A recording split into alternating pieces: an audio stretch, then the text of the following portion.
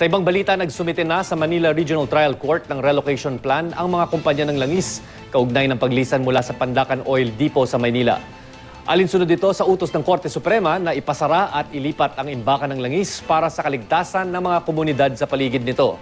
Ayon kay Manila Mayor Joseph Estrada, oras na maayos na ang lahat ng permit at safety clearance. Sisimulan na ang pagiba sa mga istruktura. Binigyan ng Korte Suprema ng hanggang January 31, 2016 ang mga kumpanya ng langis para lisanin ang pandakan. Ang dating oil depot gagawing residential at commercial area. Ayon sa lokal na pamahalaan ng Maynila, lilikha ito ng mga trabaho at dagdag na kita para sa lungsod.